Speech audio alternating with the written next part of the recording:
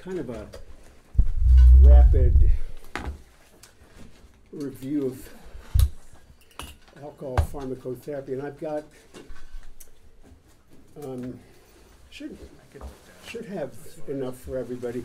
So these are just copies of the, um, of the slides for you to take notes on if, uh, or, you know, make any comments or questions. Because our time is limited, um, I think it's gonna be tough to do a lot of discussion, but I urge you to, you know, talk to me afterwards, call me, email me, whatever, and, um, we'll do our best.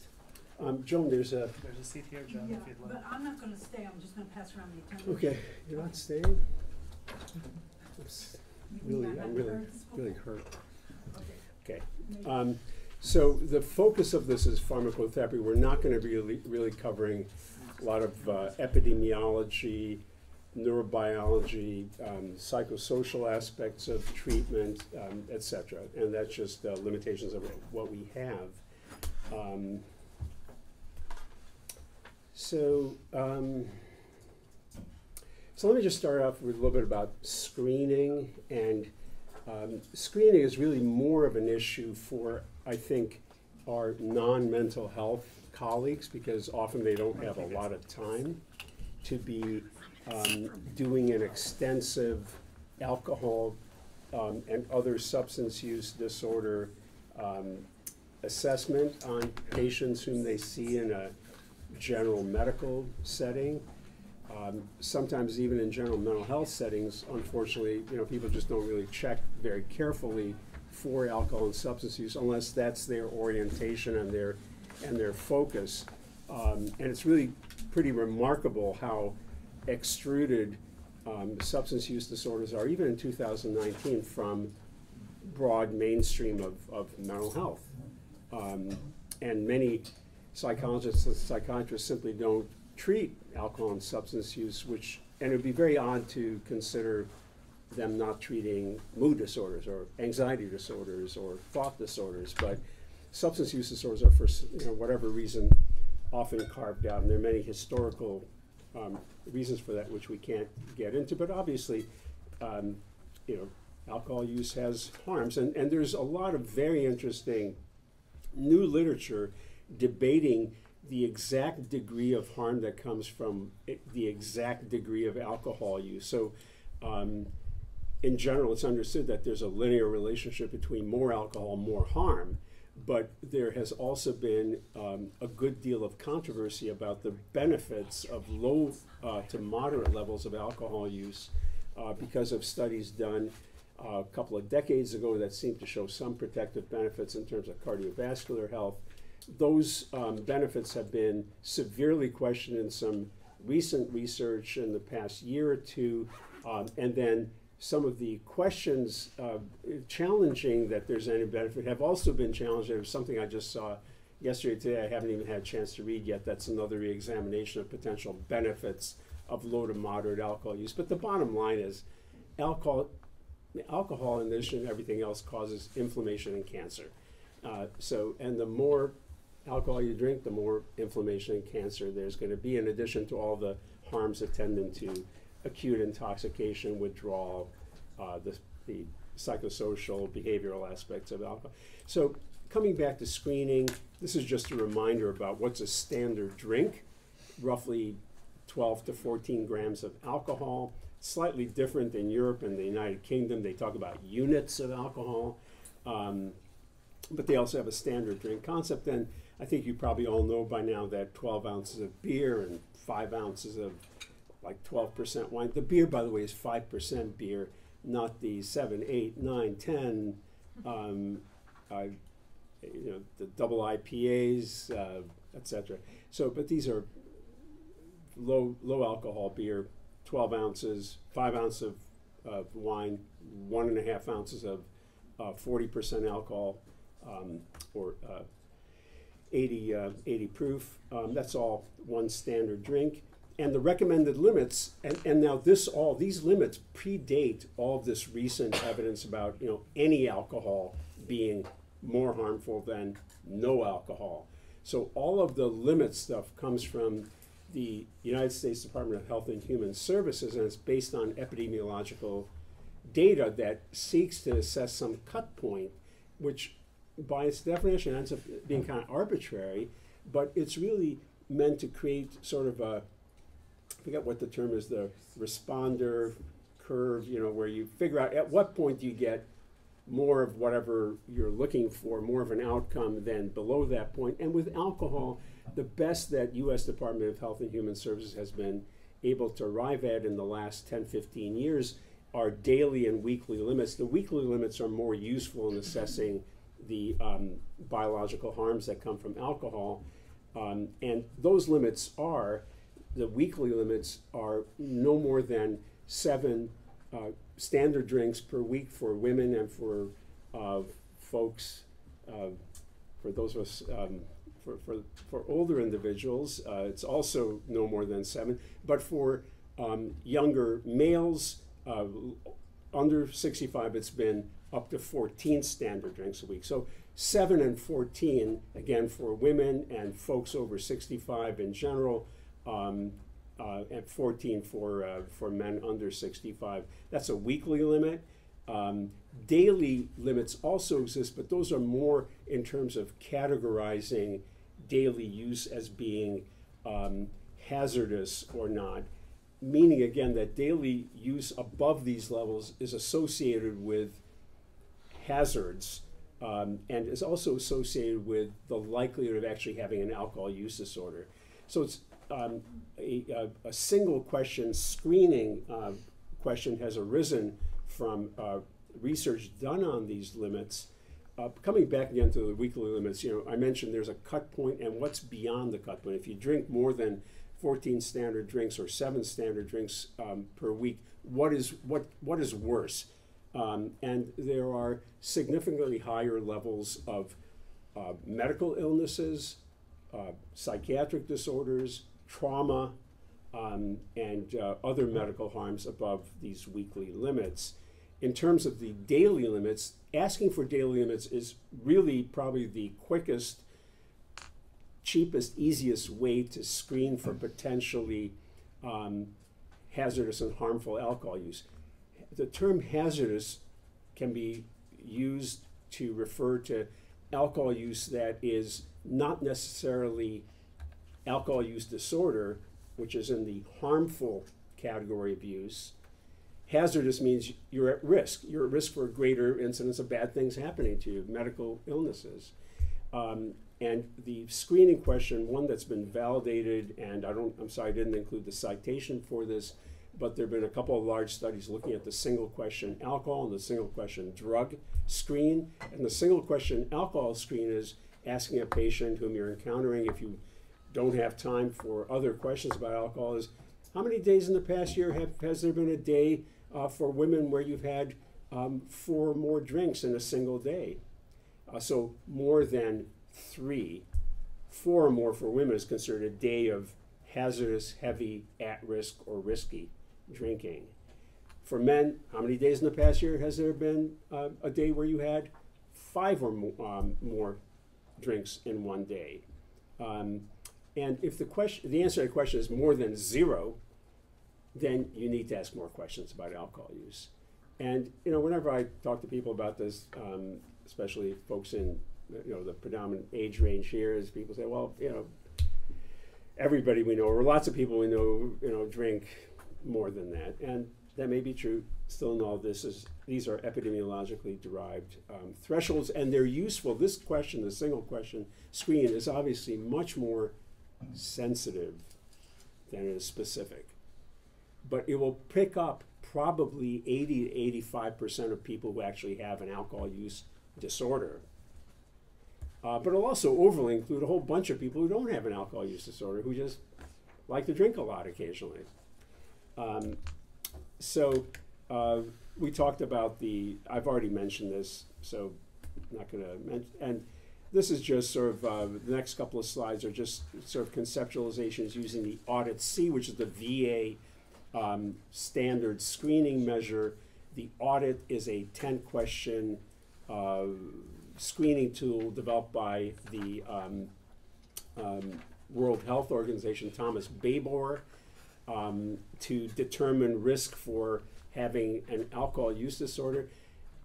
And I kind of don't get it. I know, I, I guess I'm not enough of a psychometrician because it always seemed weird to me to have a 10, well, the audit C's just three questions. It's the consumption questions, one, two, and three of the 10 question audit. But the 10 question audit, which is meant to rank folks in terms of the likelihood that they actually have an alcohol use disorder, I always thought it was kind of weird, seeing as how the DSM 5 criteria for alcohol use disorder, there are only 11 of those. So you might as well just kind of do a diagnostic, go through all 11 criteria and make a diagnosis.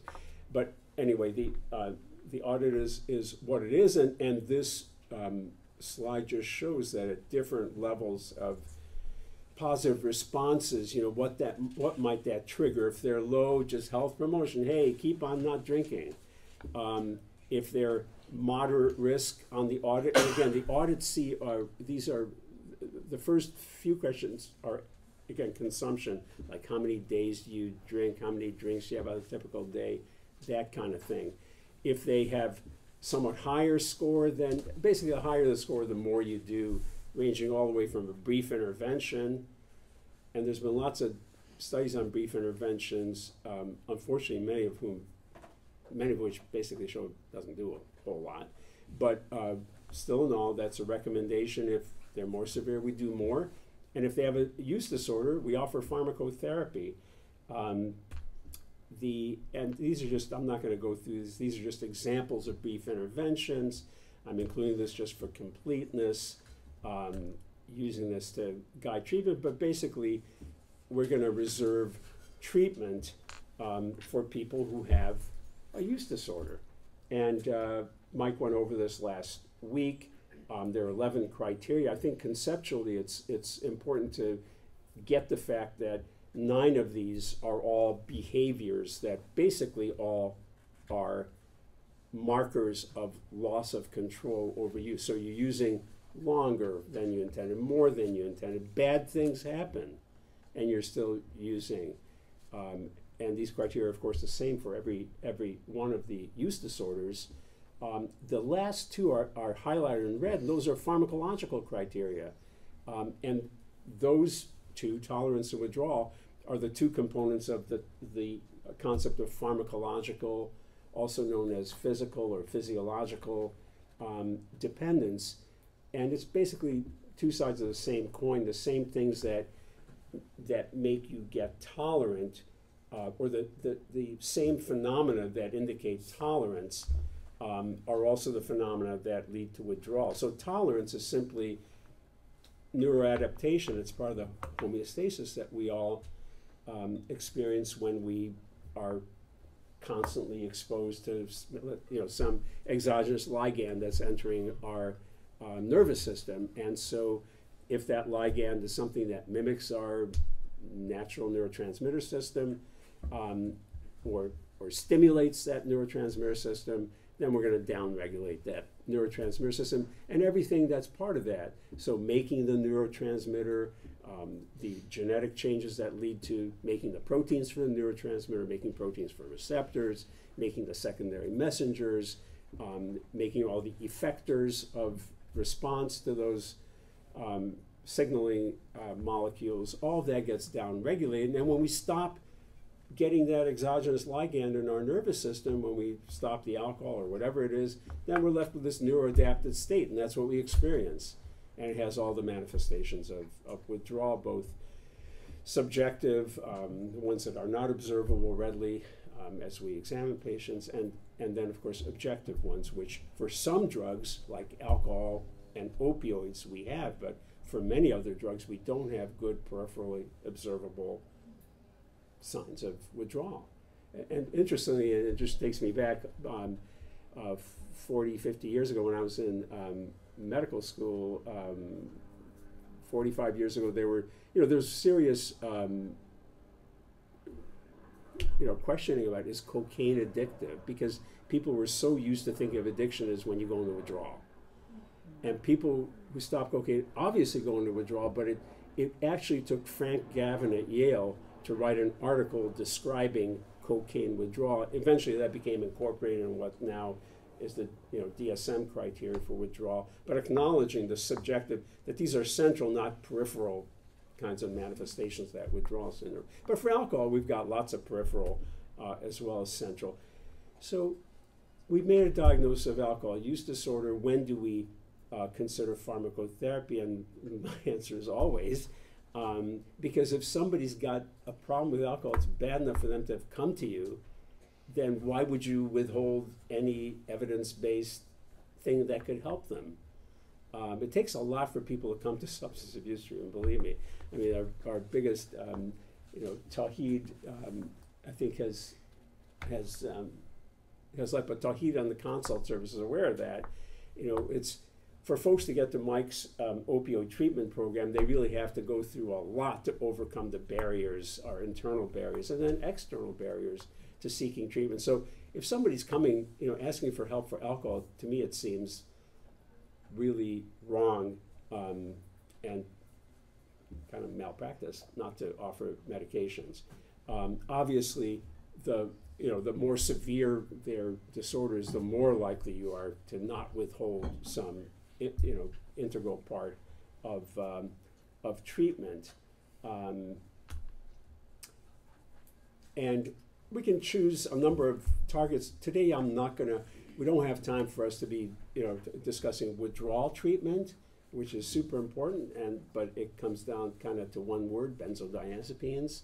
Uh, and then there, there, there's quibbling in terms of symptom triggered versus around the clock. Um, that argument's been going back and forth for decades, um, although, you know, most people would probably feel that symptom triggered is, is better. Um, also, forever, you know, there have been uh, arguments over the years about are there is there something we can use other than benzodiazepines? And um, at Stan- uh, investigator at Stanford, I'm blocking, can't remember his name right now. Yeah, you know, has come up with some very reasonable um, uh, approaches using an- anticonvulsants. I would still say that you know, if you don't use a benzodiazepine and something bad happens during alcohol withdrawal, it's going to be on you. Uh, it's just benzodiazepines are so much simpler and more predictable than uh, any other drug. That really takes a special reason, I think, not to use what is kind of established as the uh, gold standard treatment for uh, uh, withdrawal. But other than um, withdrawal, the other major uh, parts of alcohol use disorder are what happens at 99% of the time that one has alcohol use disorder, which is not when you're in withdrawal, but when you're trying to reduce or stop, or you've stopped and you're trying to maintain um, absence of, of return to alcohol use. And so, what do we have available? We have some FDA approved medications, naltrexone in two forms, acamprosate and disulfiram. And then what what else do we have? Uh, we've got some non-FDA, and I bold I bolded uh, by the way naltrexone just because it's in some ways the simplest. And we'll get back to you know is there a first line drug for for alcohol use disorder? And then I bolded topiramate just because it way out it far outweighs the evidence for the other the consistency of the evidence uh, as compared to um, baclofen and gabapentin um, and other drugs. There are a bunch of others as well. So you've got a patient. Um, let's just say this is a 57 year old male patient. Tells you drinking, you know, he's drinking heavily and, and he wants to help. Um, uh, and he wants help. So would you consider using medications? Let's say, let's say that he's, you've made a diagnosis of alcohol use disorder. Um, so probably um, given what I've just said, there may be hesitancy in saying, no, you, you wouldn't consider using medications. But let's say you are using, you know, you're considering using medications. Well, then what else, you know, what else are you going to want to know?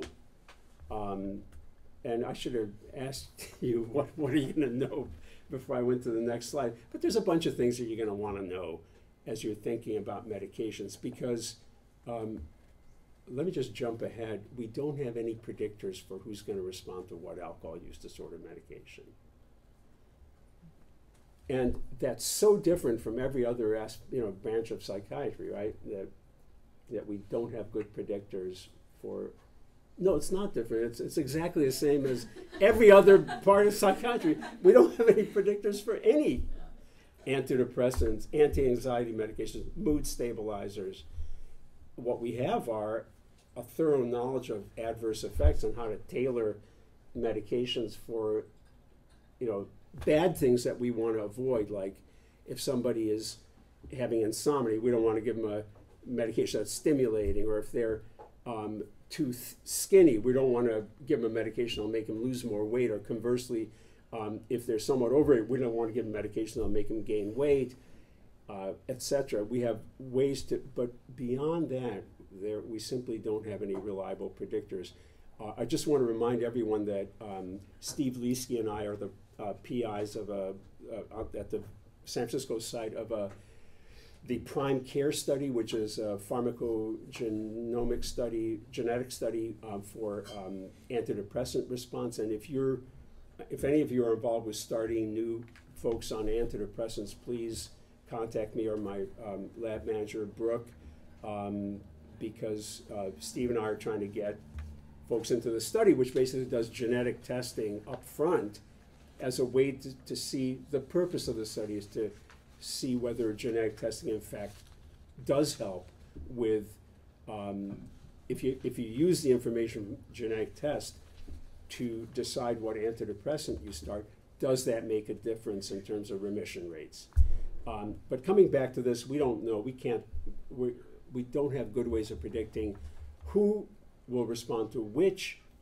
alcohol use disorder medication but there are things that we can ask to sort of help us point in a direction with some medications versus others. So uh, this gentleman is still drinking. Um, uh, he says he's drinking heavily. We want to know is he still drinking? Um, he has not yet stopped. So, of the medications that I listed before, and you can look at your handout to remind you what they were, which one can't we use right now? Uh, what alcohol use disorder medication can't we give him if he's still drinking? Yeah. Um, and um, I'll, we'll get back to disulfiram effects. So now he tells you he wants to reduce, not stop. So which medication can't we use? It's the same one we just I can't use disulfiram. Um, and by the way, these questions are meant to help create a branching, sort of an algorithm of, you know, decision points that help in deciding which, you know, wh- what you're considering. He's on opioid analgesics. What, what medication can't we use? Naltrexone, either in the oral or the extended release form. Um, and um, uh, it's, um, all right, so that this is yet another variable that we need to. Okay, his liver function tests are elevated to more than three times the upper limit of the norm. While this is not an a, a precise contraindication, what medications would we want to be more careful with, knowing that they are hepatically metabolized and might pose a greater risk for adverse effects uh, in someone with a really bad liver? Naltrexone and which which other one of the ones we've talked about? I'm sorry? Actually, acamprosate, gabapentin, baclofen, topiramate are all renally cleared, uh, thankfully, and but disulfiram is not.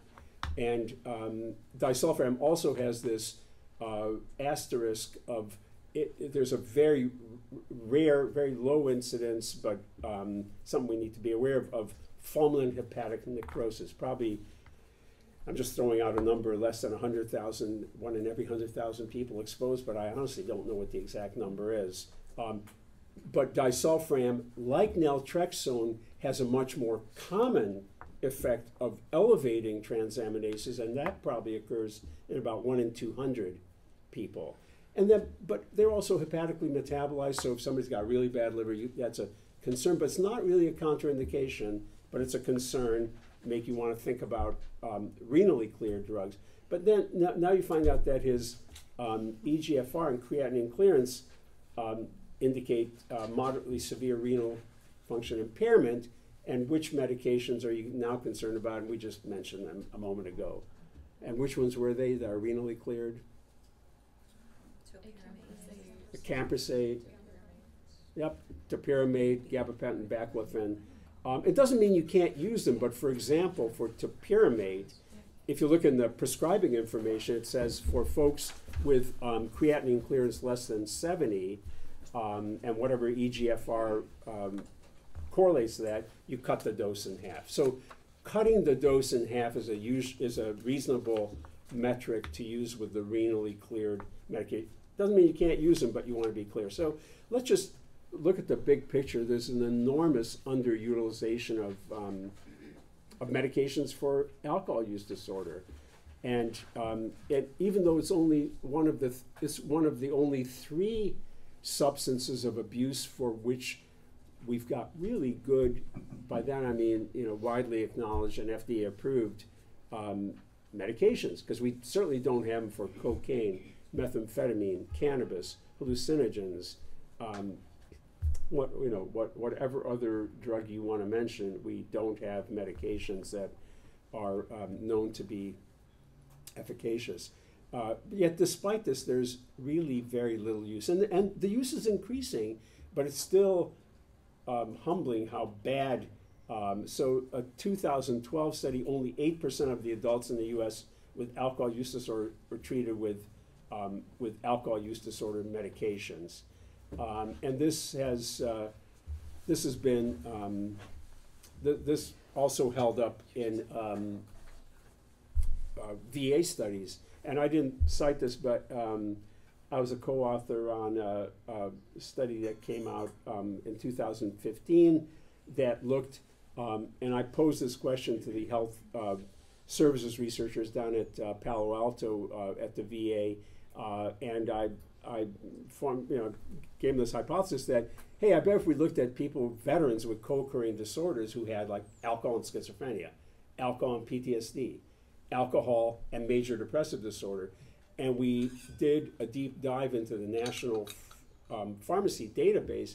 I bet you'd find that way big majority of all those folks were being treated for the non-alcohol co-occurring condition, but that very few people are going to be treated for the alcohol. And the purpose of this was to get rid of the hypothesis that people didn't have access to mental health prescribers, um, and that's why they weren't getting. And so, sure enough, you know, like 80 plus percent of people with depression, PTSD, schizophrenia were getting medications for depression, PTSD, schizophrenia, and like 5%, you know, 8%, 9%, whatever, were getting medications for alcohol. It's just really mind boggling and frustrating. And there's, we don't have time to get into why that is. I'm sure you have your own, you know, thoughts about that. But alcohol use disorder treatment isn't um, simple, just like depression, um, anxiety, thought disorder treatment isn't simple because people with alcohol use disorder have all different, there are probably lots of different kinds of alcohol use disorder. And just like with every DSM 5 diagnosis, our diagnoses are really kind of crappy. With um, substance use, it's a little bit, there's a little bit more validity because the behaviors are, are more observable in some ways. Um, and we can quantify you know, how much people use and stuff like that. But boy, our psychiatric diagnosis, even in 2019, is phenomenological. You know, do you have three of, you know, it's, it's like the old Chinese menu. You have three of these and two of those. Well, then you have this disease. So it's all phenomena based on self-report, sometimes observation, but it's not on etiology. Uh, we say it'd be like if say you know medical diagnosis was you have water in your lungs rather than uh, there's pneumococcus that's producing this inflammation that's drawing water into your lungs. We're at the water in your lungs um, stage with some minor exceptions, but unfortunately that's true. And with even with alcohol, there are many different types of alcohol use disorder, um, and apart from etiologic differences, we can just talk about you know phenomenologic differences um, uh, and uh, co-occurring problems. So, what medications, what diseases, what other diseases do people have? Um, there's some other uh, variables that we can look at, um, but different alcohol use disorder medications present different risks and benefits given some key characteristics that we can identify. The really important stuff, though, is not so much what characteristics allow us to use a medication safely, which is mostly what we're talking about today, but what characteristics allow medications to be more used more effectively, which we're really poor at identifying, and I don't have any great answers for today, but we'll talk about just a couple of ideas. So, coming back to medications, and again, today's lecture is not intended to really go into exhaustive sort of neurobiological descriptions and explanations of, of how these medications work, but one of the many reasons that alcohol use disorder is heterogeneous is because in different people, different neural systems might be affected differentially. Because so many um, central nervous system uh, networks and pathways are affected by alcohol. Alcohol really has these ubiquitous effects on, um, but we've got a seat over here if you if it make you more comfortable. So dopamine is elevated in nucleus accumbens. Um, when we drink alcohol, beta endorphin is released, which then hits um, opioid receptors um, in the midbrain, which then leads to dopamine release uh, in its own. Um, obviously, you're all familiar with the GABAergic effects of alcohol, that alcohol affects um, aspects of the uh, benzodiazepine GABA chloride ion channel complex and uh, related systems. Glutamate, which you can think of in some ways as the opposite of GABA, so glutamate, an excitatory amino acid uh, neurotransmitter, is upregulated. So when we when we drink, it has GABAergic effects, so we tend to downregulate GABA chronically over use. When we drink, it blocks GABA to some degree, so we tend to upregulate GABA over the course of chronic use. And so after a while, if we try to stop drinking, we have a hypogabaergic and a kind of a hyperglutamatergic state. But there's so many other neurotransmitter systems, and I'm just listing them here. You know, nicotinic cholinergic, that's thought to be the mechanism that varenicline, Chantix, might have some benefit in alcohol use. Serotonergic, noradrenergic, cannabinoid systems are involved the um, uh, other systems. Um, and just as this is sort of a very oversimplistic glimpse at how some of these neurotransmitter and um, uh, signaling system uh, effects can um, uh, are, are, linked to some of the medications that we use. So um, the phenomenon, so reward or so achieving reward or avoiding dysphoria or withdrawal or responding to impulsivity can be thought to be targeted by a number of different medications. And um, I actually need to add uh, medication that we're doing research with here right now, N-acetylcysteine, uh, to this list. Um, N-acetylcysteine um, has uh, glutamate modulating effects, which um, appear to be useful in, in addiction, including alcohol. But um, I'm not going to go through this again in detail, but I just lists which medications are addressing or thought to address which of these um, systems. And one thing I want to point out, because it gets to a way of um, typology, of, of typing um, the uh, large population of, um, of patients uh, with alcohol use disorder is um, a, a way to attempt to predict response in different patients by attempting to assess whether they are reward alcohol users or relief alcohol users, which are it's, it's a dichotomous construct which probably isn't entirely valid, and most people are probably some of both. But when you ask patients, and I try to do this when I'm assessing, are you drinking primarily to get you know, fun, excitement, stimulation, pleasure, reward, Or are you drinking primarily to get away from uh, dysphoria, distress, anxiety, traumatic stress memories, insomnia, depression, etc., which could be conceptualized as relief? Now, everybody kind of becomes a relief drinker, ultimately meaning relief from withdrawal, but that's different from relief from some more endogenous kind of dysphoria or bad feeling. And people will often tell you they started out as reward drinkers and they became relief drinkers, but again, they may be referring more to just the withdrawal, relief from withdrawal, not relief from some underlying PTSD related or depression or insomnia related problem that they've had all their lives uh, because they were sexually molested as children or they had some other horrible uh, childhood adverse effect or they're neurobiologically compromised for genetic reasons.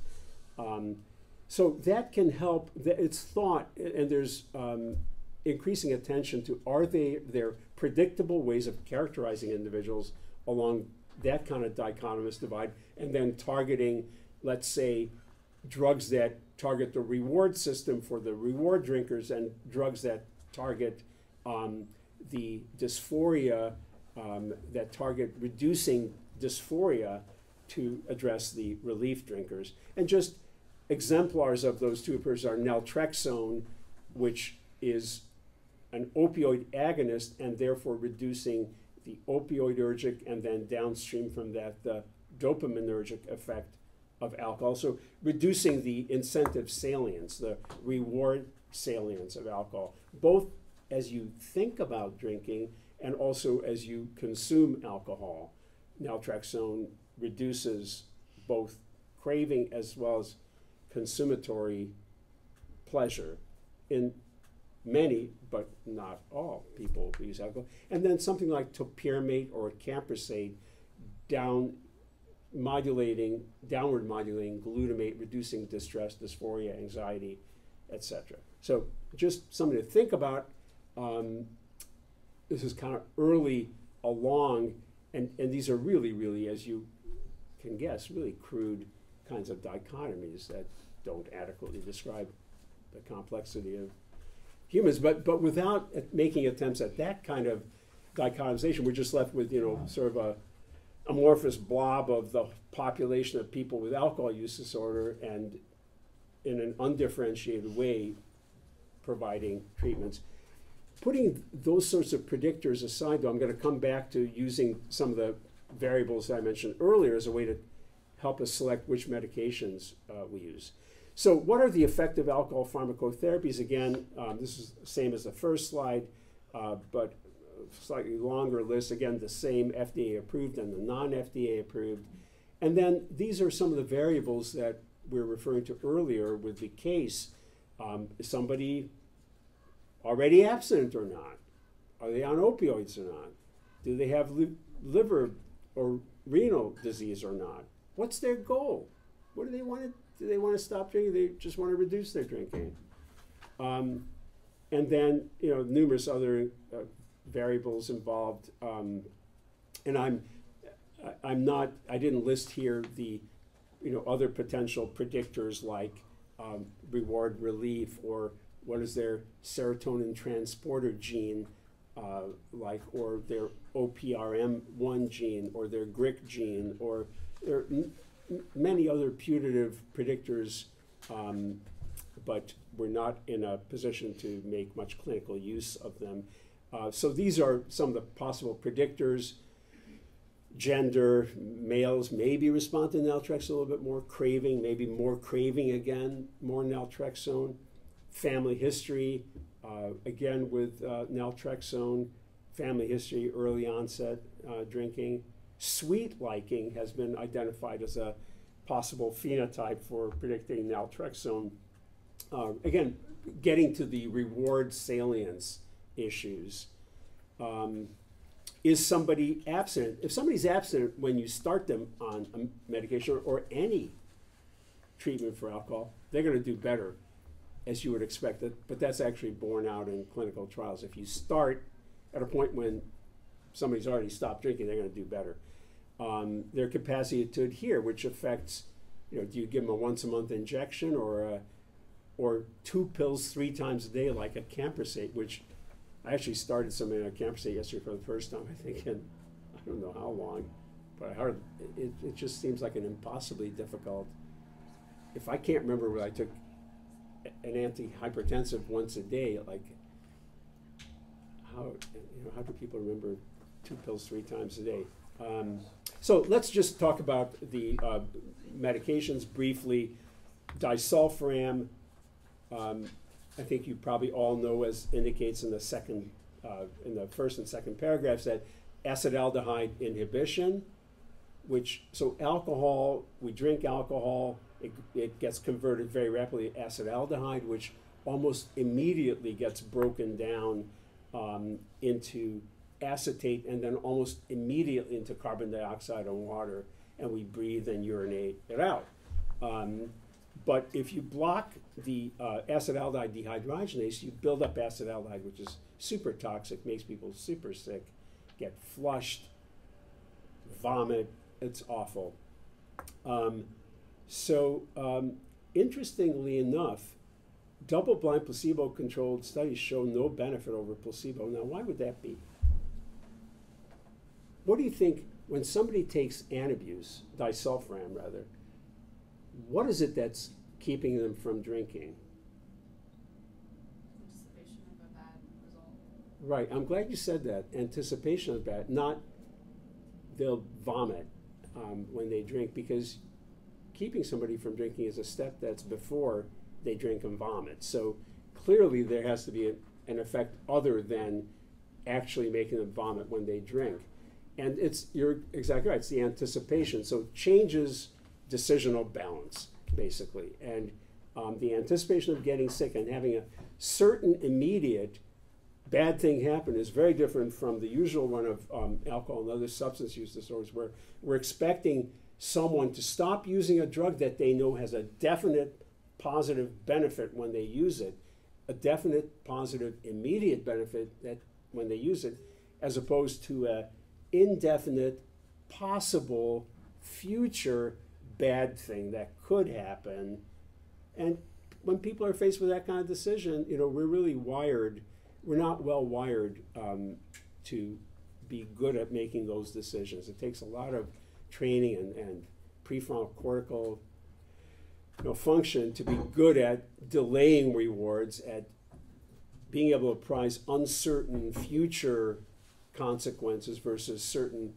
So disulfiram brings the bad consequence immediate and definite as opposed to future and possible. So disulfiram has a neurocognitive effect through the anticipation.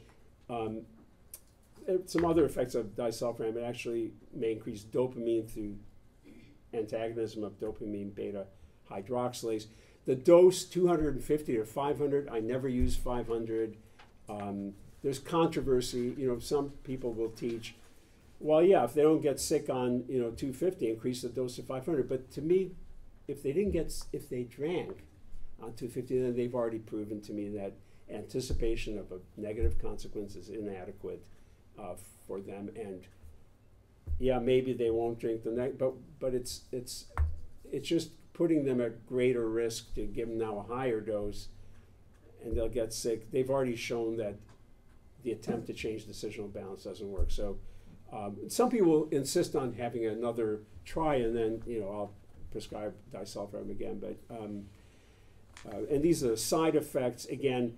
Um, be aware of the very rare fulminant hepatic necrosis, the more common 1 in 200, 250 mild to moderate transaminase elevation. I've tried re-challenging, but it's probably not wise to re-challenge when somebody has had the transaminase elevation. It's probably best to stop. And then uh, VA DOD treatment guidelines say get transaminases before you start somebody and uh, repeat um, every three months. I mean, ideally, it's even nice to get a repeat one month after you start, but it's so hard to do that. But you should definitely monitor transaminases.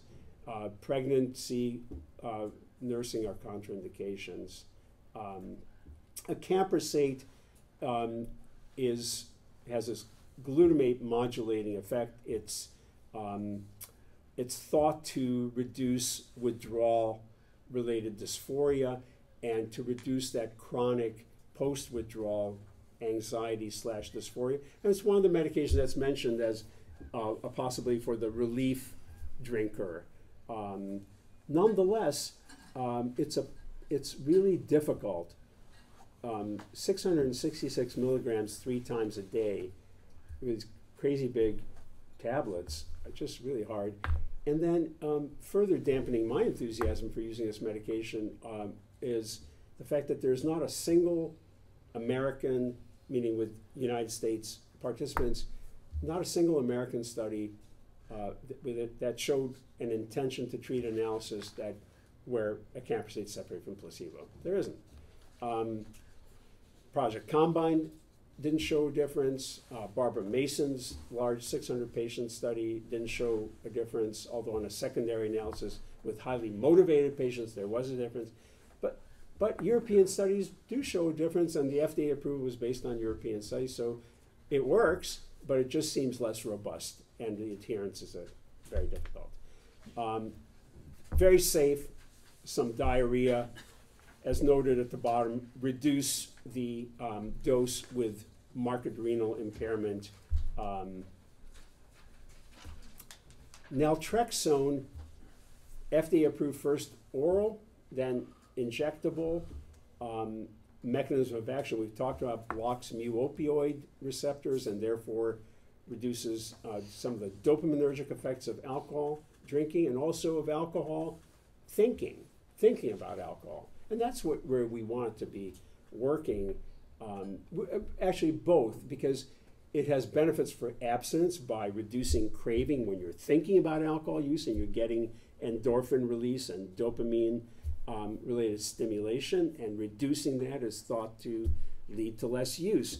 But then we also want consummatory effects in terms of reducing the pleasure of drinking, and that's more important for people who actually want to use this for controlled drinking in a targeted way, um, and will take it to try to maybe not keep from drinking, but drink less. Um, and it may improve decision making, reduce the hypersalience of. I saw you coming, Mirza. Um, re- reduce the hypersalience of alcohol cues, and hey, um, and uh, reduce impulsivity.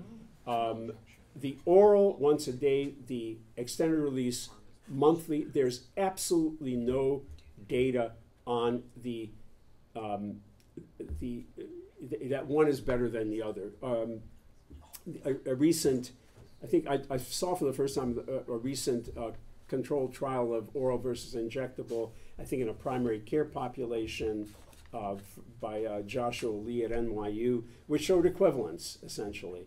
Um, but I think people for people with serious mental illness, uh, I've studied this medication in schizophrenia, uh, people with poor adherence, and also the injectable is easier to tolerate, believe it or not, than the oral. Um, the injectable is 300 milligrams a month, and what's the daily oral dose of naltrexone?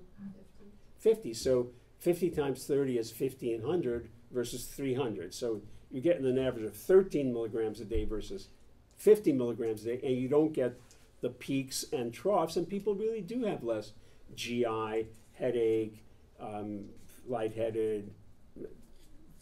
So I, I think the, the injectable is better tolerated. It's expensive, but it it works. It gets medication into people. Biggest adverse effects GI, nausea, cramping, but then sometimes also this headache, lightheadedness. Again, like with disulfiram, there's um, transaminitis, maybe in one in 200 people, and, and I probably would not re-challenge. Um, I haven't had good luck with that. Um, with the injectable, very rare there are um, injection site reactions. Again, pregnancy and um, lactation, uh, nursing are contraindications. Predictors of effectiveness, um, maybe the, you know, again, having a reward versus relief based drinking, the sweet liking, high craving, maybe male uh, sex, uh, maybe early onset. Um, the hope for a genetic predictor unfortunately vanished, um, or at least the hope that one gene, the OPRM1 gene, the gene for the uh, mu opioid receptor, that would predict, while there were a bunch of, of retrospective studies where we looked at data sets, um, and there were investigations looking at um, post hoc analyses. Um, the, the first pre hoc study where people were actually genotyped and then randomly assigned to naltrexone or placebo based on which type of uh, which allele they had for OPR1 showed absolutely no no difference in who responded to naltrexone. We can use it in people who are still drinking, just like we can at camprosate. Um, and monitoring again liver functions before. Ideally, it'd be nice to get liver functions a month after starting, but certainly three months and six months. And you you know you got to be aware of uh, can't use opioids, especially if they're on the long acting. Then you're kind of stuck. So Topiramate, my opinion, currently probably the most effective uh, medication, just in terms of let's let's say it's the most efficacious. Uh, so efficacy is in you know, like in a pure state how how big a difference it make in drinking. Effectiveness, you got to factor in people can't use this stuff because of side effects or adherence or whatever. But efficacious, it's probably the most potent of the alcohol pharmacotherapies. Uh, I got to brag on this. We just finished after seven years the 12th last week in the 150th last participant, and uh, this, this is a study that you're painfully familiar with, Emily. Um, but uh, a, a study of PTSD and alcohol, a placebo-controlled study with topiramate. We, we haven't uncovered the blind yet. Actually, we did just uncover the blind this week, but I, I don't know yet what. But we're trying to confirm an earlier study that showed that topiramate reduced PTSD as well as alcohol use. But um, dosing is uncertain. It's probably somewhere between 50 and 300 milligrams, but you really got to go patient by patient. Uh, Hank Kranzler at Penn is doing uh, currently a, um, a study to look at whether the GRIK1 gene is a predictor for response.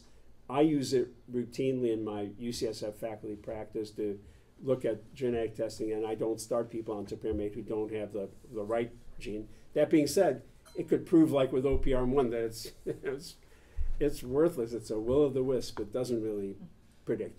Lots of side effects, which is why having a genetic predictor would be helpful, because people get memory problems, verbal fluency, short term memory uh, problems, um, paresthesias, um, numbness and tingling, some weight loss, increased chance of kidney stones. The only really dangerous thing is uh, very rare, um, one in 15 to 20,000 occurrence of uh, narrow angle or close angle glaucoma. So pressure goes up in the eye, get pain, redness, vision trouble, you gotta stop topiramate. Uh, this just shows the Blodgett meta-analysis from a few years ago, which in this meta-analysis, every single study except for one had a positive outcome. And there's no other alcohol pharmacotherapy that has that kind of meta-analysis. Um, so again, with uh, renal uh, re- renal impairment, uh, cut the dose by 50%. Um, that's a suggested uh, tapering, and then just going through um, all this stuff. There's some modest evidence for gabapentin. Um, and there's also some evidence for adding gabapentin to naltrexone versus adding placebo to naltrexone. There is at least one controlled trial that showed added benefit of gabapentin naltrexone combined over naltrexone alone. Gabapentin, it's like a third or fourth line drug, again, maybe for relief uh, drinkers with bad livers because it's renally cleared. Um, it's, it's quite helpful for sleep, and there are uh, a number of studies and a, a small meta analysis that looked at gabapentin, probably is the premier insomnia for people with alcohol use disorder medication. Um, also, um, many of us use it for anxiety in people with alcohol use disorders. Um, and unlike, uh, as the name would, um, um, it, it facilitates GABA transmission, but it is primarily a um, an alpha 2 delta uh, subunit calcium channel blocker. Uh, so it does not affect the GABA chloride ion channel complex, but it has other inhibitory effects that end up sort of potentiating uh, GABA effects. Um, no clear predictors. Um, baclofen, you know, a lot of smoke. Um, again, it seems to work in Europe. It does not work in the United States. There have been several large, including a, a recent large VA study in Hep C patients, zero zip, nothing, no, no advantage over placebo. Uh, another large study out of Medical University of South Carolina from a couple of years ago by um, Bob Malcolm uh, and Ray Anton. Again, zero zip, nothing. Um, meta-analyses show not much in terms of um, American studies. Um, it's very popular in Europe, and there's sort of a baclofen cult. And it's really not clear, you know, is it, you need very high doses? But that hasn't really been borne out, and there's some hazards with it. Um, but again, renally cleared may be helpful in some patients, sort of like a fourth, fifth, or sixth line uh, drug. Um, these are some other possibilities. So, is there a first line drug for alcohol? Well, it depends. If they're abstinent, we can use pretty much anything. Um, if they're still drinking, we can't use disulfiram. If they're using opiates, we can't use naltrexone. If they have really bad liver disease, we can still use all the hepatically metabolized drugs, but just be careful. If they have severe renal impairment, again, we can still use the gabapentin, topiramate, baclofen, um, acamprosate, but you gotta, again, cutting the dose generally in half. Um, and then, you know, these are various genetic predictors that have been explored. This is just sort of food for thought. It's not really giving us anything um, specific. And there's so many unanswered questions, and they're listed in your handout. But even with medications that work, we don't know how long do you can. I mean, what would you say if somebody asked you, "So how long, doctor? How long should I continue this alcohol use disorder relapse prevention medication?" Um, well, well, no, six to twelve months. You know, I, it's really like, who knows? Um, and numerous, you know, can we combine them? There's so little research on this stuff. Predictors, of course. Uh, there's some uh, tools and resources, um, and uh, a couple of the more, uh, some of the more recent last few years, uh, recent best reviews for you to look at. Um, and I think we've finished right at two.